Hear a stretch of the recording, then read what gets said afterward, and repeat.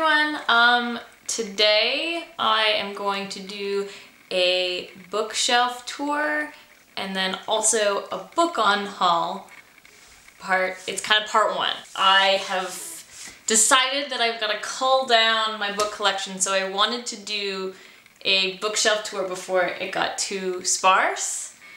So this shelf is a bit is a small long shelf. Um, these are my prettiest books. This is where my pretty books go because it's directly across from my couch and I'm looking at them all the time. So I, I tend to make things kind of pretty in here. Um, these first ones here are my McSweeney's. Uh, I really, I, I really have a soft spot for McSweeney's. Uh, you know, like pretty publishing kind of little games that they do, things like that. Like this one's pretty interesting. Um, it's got like this like fold out and my copy's not in the greatest shape, but I just, I love that about McSweeney's. So I have a little tiny McSweeney's collection and it goes into Klosterman and, and Barnes.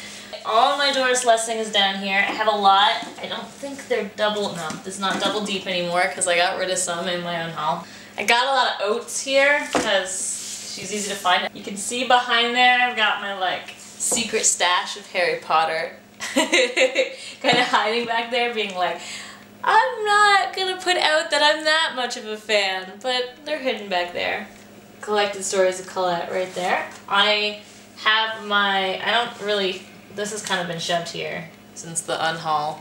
We haven't really found a spot for my Lisa Moore and my Lena Dunham, but they're, uh, they're photography books here. I'm gonna just put that in the right spot. I am a photographer, so I have quite a collection. Um, this is not even all of it. I have downstairs in my office, I have like a whole other shelf like this that's like a row of them. But I've got my Annie Leibovitz, which then leads to Susan Sontag because they were partners. So I thought they need to be kind of together. And then on a related note, we've got John Berger because he wrote a lot about photography, so I, I kept him in there. Along here, I have my Daphne du Maurier, like James Joyce and Milan Kunderas kind of shoved in there. Um, I love, this is one of my favorite of my book covers that I own. I really love it. It's just so pretty. I got it at a church book sale for like $3 or something. I love it. And then I got my Toni Morrison collection and some of my four. I actually have a whole other box of books that's missing. Um, I think I found them, but they might as well stay in a box now. I have more for, but he, he's got lost in that box. Then I have some some more stuff back here. Nothing too interesting, just some Lawrence Durrell, some Carol Shields. I got the Zadie Smith I haven't read yet. Um, some Steve Martin. Borges, I got got some collection there. He's one of my favorite writers. This is one of my favorite collections some Douglas Adams because he's fun, some Stephen Millhauser because he's fun. This is kind of a bit of a fun shelf once we get past here. Um, this is the oldest book I have. I've had this since I was a kid. It was like one of my favorite books when I was a kid. Same with my my Calvin and Hobbes. That's kind of that's from childhood. I'm not very sentimental, so I don't have much from childhood, but I have those two things. Then down here we have it's not all poetry because Paul Auster's thrown in there for some reason, but uh, we've got like some Susan Musgrave, some Edna St. Vincent Millay, some Sylvia Plath, and then I don't have a lot of I don't have a lot of poetry. I like poetry, but I like very specific poets, so I've got a few there. Um, I got a lot of Musgrave. Like she was someone that I couldn't find anything of for a long time. So anytime Matt was anywhere and he saw it, he, he collected it. And now I have like a huge huge collection of her when I think really I only like her poetry. I'm not sure yet. I haven't quite made my way through all of her stuff. Her poetry is absolutely beautiful. She's kind of like a lesser known Canadian poet. So I would suggest to the people who like CanCon out there, try some Susan Musgrave. She's not her fiction necessarily, but her poetry is quite amazing. So this shelf also isn't all books. Obviously, I am an old camera collector too. Um, so I have some of my working cameras as part of the shelf, little bits and bobs, but uh, so this is just more like to look nice. So these are my favorite older penguins, so I'm gonna probably spend a minute here. I just got this one. I haven't even taken the price tag off yet. Look at this great Christopher Isher Isherwood. I love it so much. It's so great. Then, this really strange little copy of Orlando that like the spine and the cover don't really act like to have it look the same not upside down. I have to flip it the opposite way. So it's like a real I think I looked it up one day. It's really old. 1945 isn't it great? I love it so much. Um, and then I got the selected essays. And more George Orwell and a bunch of Evelyn Waugh oh I love it I love these old penguins these are like my favorite because look at this great cover. It's, I love it. The next stack is my other kind of like to look at books and it's all these different like beautiful old versions of, I mean, this Victor Hugo. I'll never read this, but it's so pretty. Um, look at this. It's so pretty.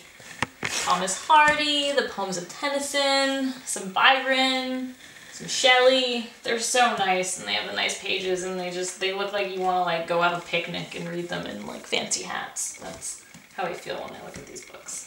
So the next shelf, I feel like this has been like the shelf like along here dedicated to like some of my favorites because you can see, and I'm quite proud of it, I have almost everything by Jeanette Winterson.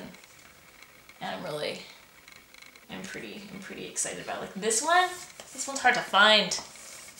Her essays? Yeah. Good. So this is all my Jeanette Winterson. And then I got some some Joan Didion, who I also love. I also have these this really rugged copy that I found in a cafe. So when we get to this, there's no rhyme or reason to these stacks really. It's just kind of like stuff gets thrown there.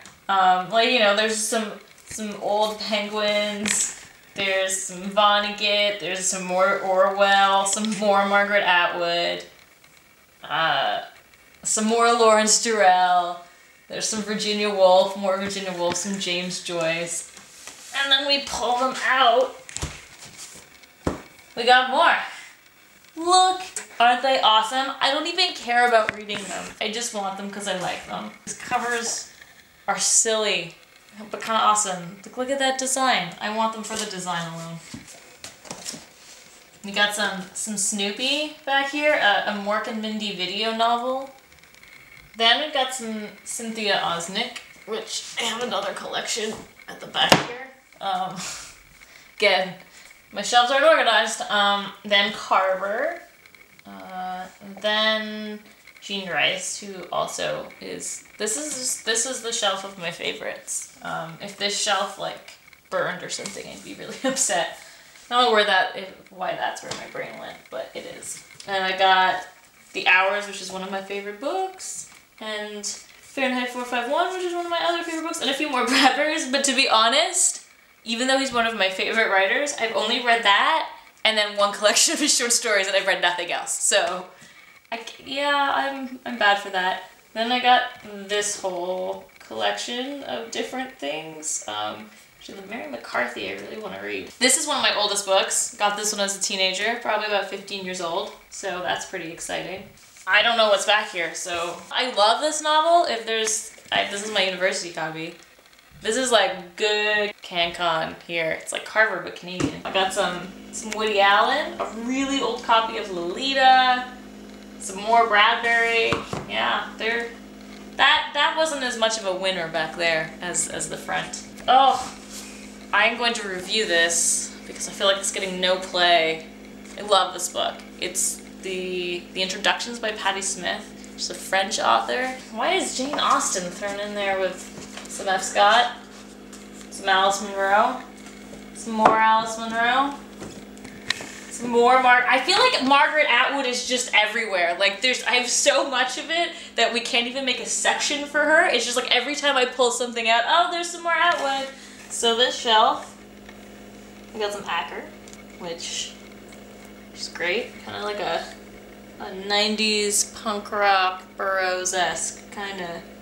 Got some selected stories of Edith Wharton, some more Edith Wharton. What's back here? I'll find out. Uh, some Beckett, a play, Patricia Highsmith, yeah. Some more Beckett.